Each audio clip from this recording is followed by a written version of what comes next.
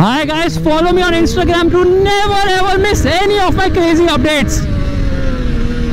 Hi guys and welcome to another vlog. I am riding this. This is the Ducati Multistrada V4. Yeah, you can look at the design. It looks so different than the Multistrada I rode recently, which is the 950. It is kind of new in many regards. It's actually taller and sort of slimmer as well. Looks absolutely mind-bogglingly phenomenal. You know why? Look at those lights. They look so angry. You know what is this? This is actually the radar for the adaptive cruise control. The lights have been revised. We'll come to that in a bit. The front tire size happens to be a 120. It is a 19 incher. Meanwhile, at the rear you get 17 incher and that is a 170 from the side. Oh my god look at it. It's actually taller now and it has got winglets. That's right it's got freaking winglets which should be there only on a sports bike but this multistrada v4s has all of that. In fact this is very purposeful. It's like a adventure sports bike. Okay it says ducati safety pack right there brembo brake calipers and of course it's got dual discs at the front. Look at that okay look at the metal and it has got three radiators one two and three that's right three freaking radiators the beak has been revised as well on this motorcycle so absolutely crazy but Faisal Khan's fingers of truth are going to try to get inside this I don't know if it's real or fake मुझे तो fake ही लग रहा है but any which ways that's not important because here is a fan on the side it deflects the heat outside this is a V4 engine you know what it shuts two of the four cylinders cylinder deactivation. The rear ones are shut so that fuel efficiency is improved or actually that's to conserve the motorcycle from getting really hot or the rider from getting really heated up. Any which ways you can see the upswept exhaust. Now this uses a monocoque chassis that's right but this seems like a trellis frame. Says Ducati right here. Love the paneling. This has become bigger now 22 liters tank. Earlier it was I think 20 liters and coming to the rear okay these are LEDs of course proper grab rail you can mount panniers here which is again a nice touch nice to hold on to the grab rails. Seats seems very comfortable this is a step up for sure. It says multistrada here. It says v4 here but look at the softness of the seat. There's storage space here for your phone but my phone will definitely not fit in here. Although i think there's a charging socket somewhere or maybe you can yeah there it is usb however a full size phone will just not come inside. So ducati is in 2015 right now as far as that compartment goes. What a beautiful looking motorcycle. Very purposeful. Okay let's do one thing. Let's come to the cluster.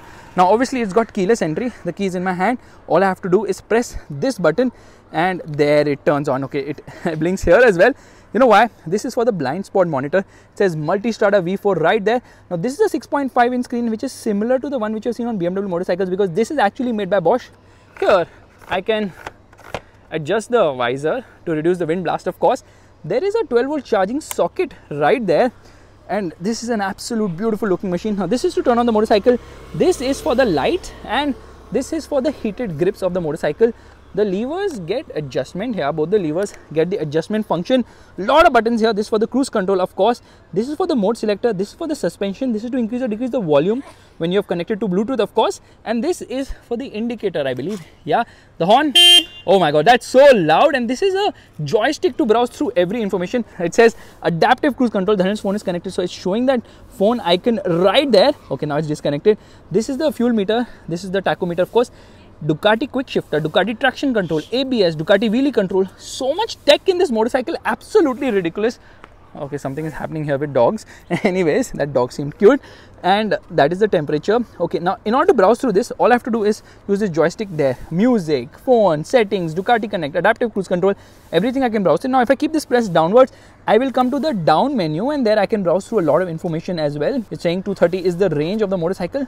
Yeah plenty of information. That again is a nice touch. And i can press the mode button and then i can decide which mode i want to ride. And you can see according to the mode a lot of changes happen. It says front suspension softest rear suspension softest because it makes changes to the suspension actually does not make changes to the preload which alters the stiffness or the softness of the suspension and also kind of alters the ride height but it's not as much as in the multistrada 950 the difference in the ride height of course.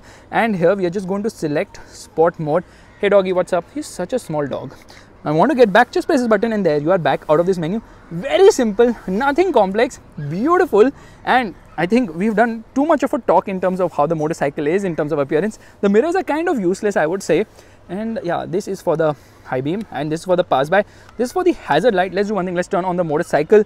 The motorcycle is in first gear right now so Dhanil will do the needful of actually getting into neutral because one hand I have to hold on the phone. And there we turn on the motorcycle. You can see the lights and uh, we're going to turn on the hazards as well so that you can see the indicators as well. Leds of course and at the front too.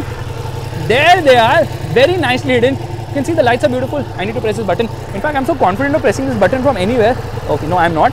Okay now we have turned on the light. Let's go. High beam bro. Yeah that is a light. It has got cornering function so this is the cornering light as well. And yeah it's actually got a radar at the rear also. Somewhere at the rear it's yeah there it is the radar which is for the blind spot monitor. Let's do one thing. Let's rev this motorcycle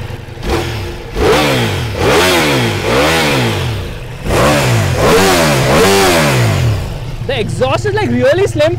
Dual ports Faisal Khan's fingers of truth do not touch exhaust on motorcycles because they're real ones. Let's do one thing. Let's start riding right away. A few more points I'd like to add. Dhanil please give your phone. I'm running away with it. Just kidding. We're just going to open this and try to fit it inside. It will not shut and if I try to shut it then Dhanil is going to send me a bill to reimburse his for, for his phone. If you put the key inside it's going to get lost so you have to try to figure it out where it is. Okay let's do one thing. Let's again get into the motorcycle menu and uh, it's going to show the Ducati logo first and then it's going to obviously show the multi-strada. I love the graphics. They're really very cool.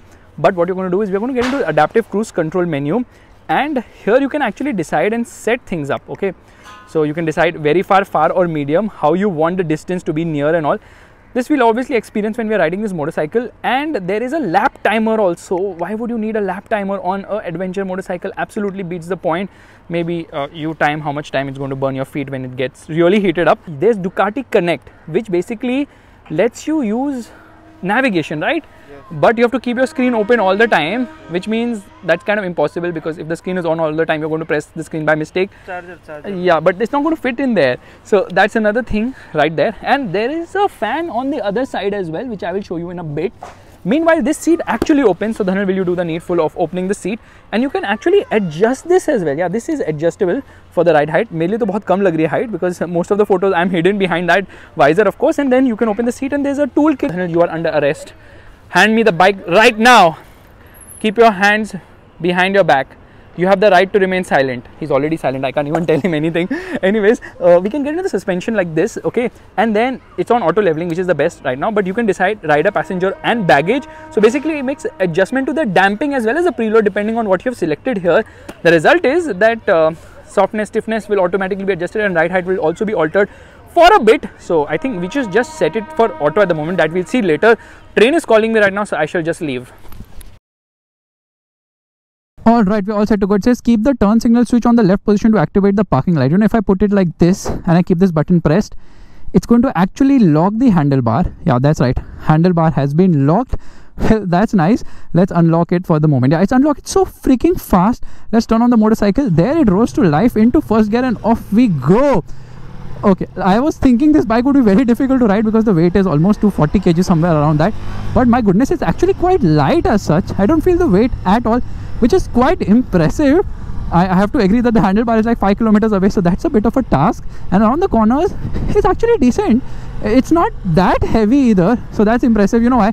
Because it has got a slew of settings. You know, if I get into the riding modes, okay, right now we are in urban mode and it says engine low. Why does it say engine low? Because i think it makes 120 horsepower in urban mode or in when it says engine low. In fact let me browse through this. When i get into sport mode engine high 170 horsepower and obviously it changes a lot of other parameters like the ducati traction control abs wheelie control. Suspension is hard in sport mode but in touring mode now there we are engine is again high 170 horsepower but the suspension is on the softest setting. So in enduro again engine is on low suspension is on medium setting. Make so many changes and you can do all this on the fly to turn your motorcycle from an absolute comfortable mile muncher to a sports motorcycle. That's impressive. In fact uh, we are just going to ride on enduro mode right now. Okay says close throttle. I have closed that throttle. Yeah abs enduro and off we go oh my goodness. It really pulls strongly. I like it. I like the way this motorcycle rides. But come on what are we doing riding in enduro mode? We have to get it into sport mode. So here we are into sport mode. Close throttle. Close the throttle. Yeah we are in sport mode. I can immediately oh my goodness i can feel the front lift. My god what an engine. This is a 1158cc it's a v4 which is obviously four cylinders in a v layout. And you know it doesn't get the desmodromic valve and all that stuff which the 1260 had. You know why? They have dropped it because valve clearance is now a non-issue. In fact valve clearance now requires twice the amount of time 60000 kilometers. Earlier it was 30000 kilometers. So no desmodromic. This is a v4 gran turismo or something of that sort the punch is immediate. You get into the throttle, it absolutely leaps ahead, which makes me wonder we should also change the suspension setting right now. So we're just going to get into auto. We're just going to leave it on auto leveling. Let the motorcycle decide what it feels like doing, when it feels like doing. I'm just going to ride and see what happens. oh my god the lunge ahead. First and foremost ride is very comfortable right now for me when i'm riding in soft settings but i'm not. I'm riding in hard settings. But what i like is that you know the ride height has been increased slightly by Dhanar so it, i think 860 mm 840 860 ke beech mein chalte 20 mm is the difference between the ride height which can be altered. That again is a nice touch and the motorcycle revs so fast. I don't know how it manages to rev so fast but absolutely crazy fast it revs. Brakes are stupendously awesome. Okay, at idle, you can feel the vibrations turning off the hazard light into first gear, revving the motor. And off we go.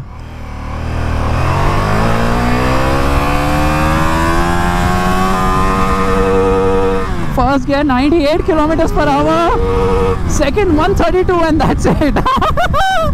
Absolutely maddening. Wind loss is too much, so we're just going to adjust this on the fly. Yeah, now that is better, but still I feel a lot of wind on my helmet because obviously because of my height, but I'm very comfortable on this motorcycle. I can feel some amount of vibrations on the foot pegs because I'm near the red line, of course, and it makes 170 horsepower at 10,500 RPM, 125 newton meters of torque, which uh, makes it very torquey and punchy in the mid range. Low end is not that great. It kind of stutters at lower end of the rev range, but no matter how good this motorcycle will be, it can never be as good as that Verna, which has not one, not two, not three, but four freaking exhausts. My goodness, is that a one or a sports car? It's a hypercar. It's a one. Okay, stop overreacting. That is just fake stuff happening there.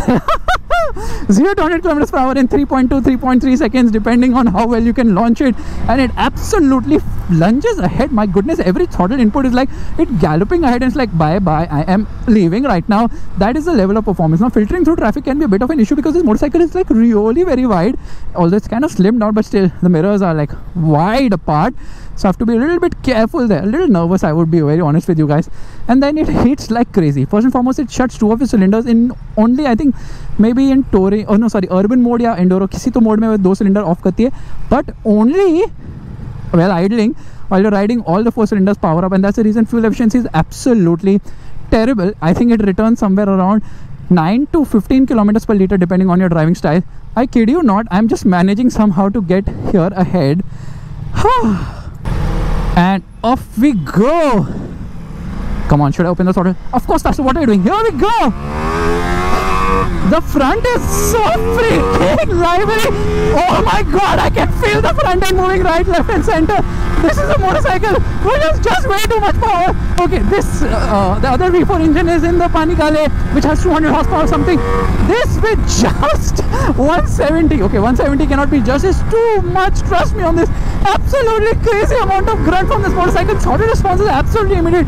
So low end is okay, it kind of stutters there. Mid range is very nice, and the top end ballistic. It's a rocket ship in the top end. Brakes are so good, my goodness. Grip levels are also fantabulous.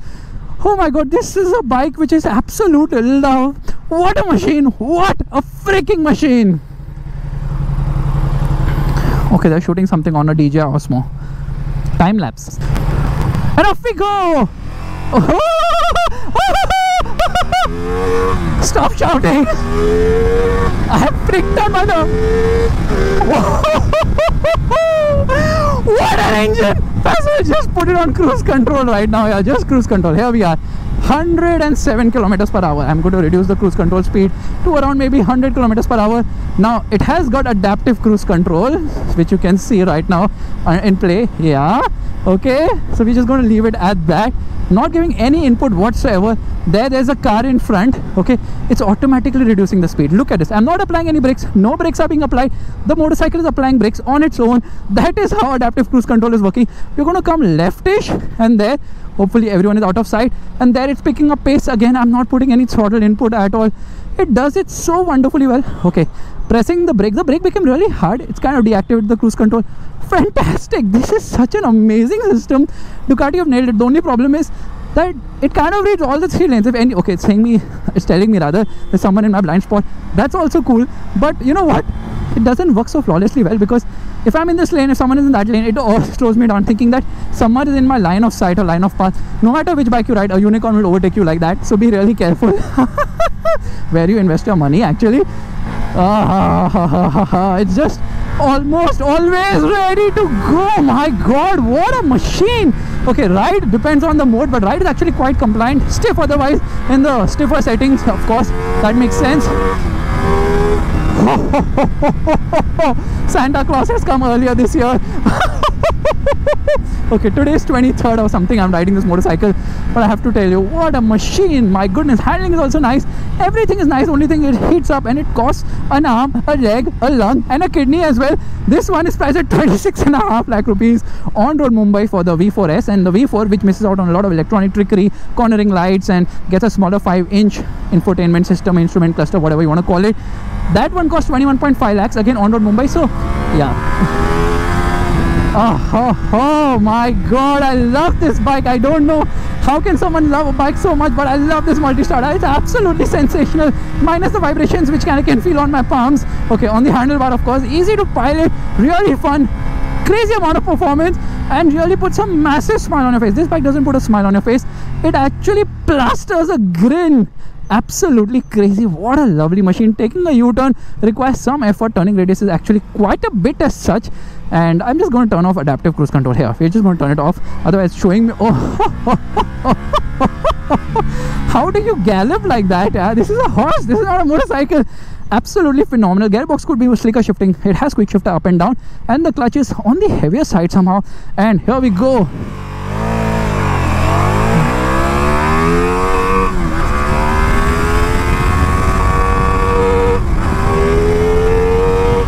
I can't do this. I'm sorry, I just can't do it. It has just way too much power than I can actually manage to put down on the road. This is an absolute beast. It has great handling. It's got a monoshock. No, it has a monoshock. It has got a monocoque body, a uni body layout. Oh, I think the H2 maybe probably would be the other. No, no, no. Forget all that. Let's go. Ah. absolutely sensational motorcycle. What a beast. And again, see, there is the, I think the Ninja 650 who cares? Who knows? I'm having a lot of fun riding this beautiful motorcycle which has got radar tech as well. Okay are people clicking pictures or something? They're waiting for something? Uh, I don't know. Somehow it doesn't have that uh, bounciness when you go over a bad patch of road. It doesn't bounce. The ride is really well sorted. This is a mild muncher. It can gobble up the kilometers without any fuss absolute crazy motorcycle. Ducati my goodness you impress with such amazing tech and engineering feat on the multistrada. Wow. Okay in the city it's a bit of a handful i have to admit that. This is a motorcycle which is not only fast fun compliant a mile gobbler a mile cruncher or whatever you want to call it plus aesthetically amazing technologically rich. This is the front master cylinder and everything is a piece of art on this motorcycle I can see decent amount of stuff what's around me with the rear view mirror so I wouldn't really crib about them as much as I was earlier doing it. The way it revs absolutely crazy. Now this bike can be switched to spoke wheels as well for off-road riding and that's the reason it doesn't get a single-sided swing arm. It gets a dual-sided one so yeah. A little bit of ah, aesthetic inconvenience right there. Oh hydraulic clutch so that is the fluid for the same as well.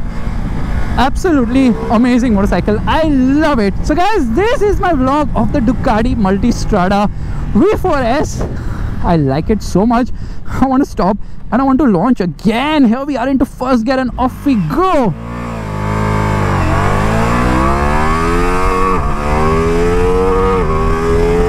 using the quick shifter works beautifully well. Only thing is it's a bit sensitive so if your feet or foot is anywhere near the gearbox of course it kind of realizes and tries to activate gets a little jittery there. And that uh, navigation system that's from another company which doesn't work as fluidly as google maps might as well use google maps only. If you like this vlog make sure to give it the thumbs up. If you like this motorcycle smash that like button break it throw it eat it. I don't care. Bye bye there's a setting now you can change the angle of this display. Is there?